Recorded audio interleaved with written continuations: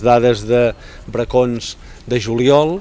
eh, que les hem volgut destacar perquè són les dades eh, més altes de tota la història des de que vam obrir eh, el túnel de Bracons. Eh? Eh, ha estat el mes amb més circulació des dels inicis, eh, tant d'anada com de tornada, eh, com només d'anada. Per tant, eh, ha estat el mes doncs, eh, amb més vehicles que han entrat a la ciutat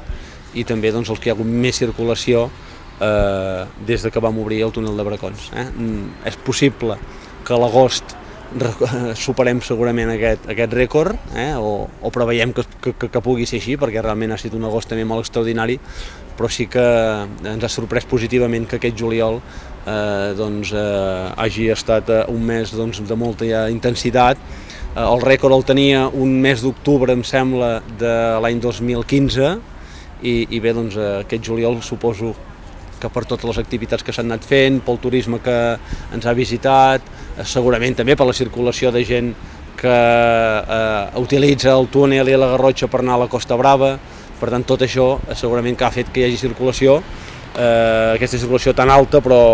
només d'entrada eh, a, la, a, la, a, diguem, a la ciutat eh, són més de 123.000 vehicles els que hi ha hagut durant aquest mes de juliol, que ja dic que és el rècord des de l'any 2010.